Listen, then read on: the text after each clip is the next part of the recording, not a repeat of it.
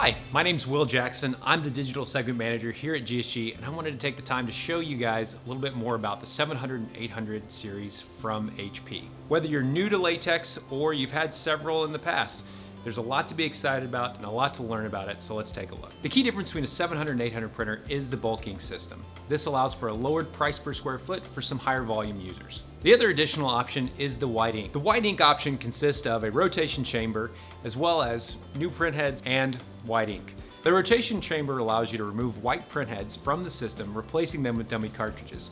This closed loop system allows you to save money on wasted ink. The unique feature about HP's latex white ink is both the opacity and the stretchability of the ink itself. In the past, with white ink, you had to choose between flexibility, durability, and opacity. Now you can have all three.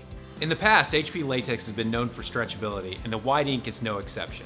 In this demonstration, you can see once we add heat, the white ink returns to its original shape without any cracks whatsoever.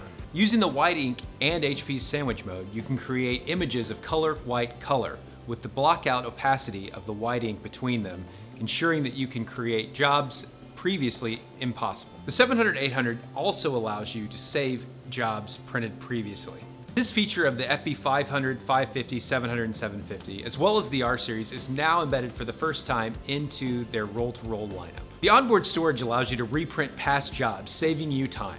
Similar to past models, you can use the embedded web server to access HP's profile library. These branded profiles will allow you to hit color more accurately more often. Working remotely is now easier than ever with the Print OS system.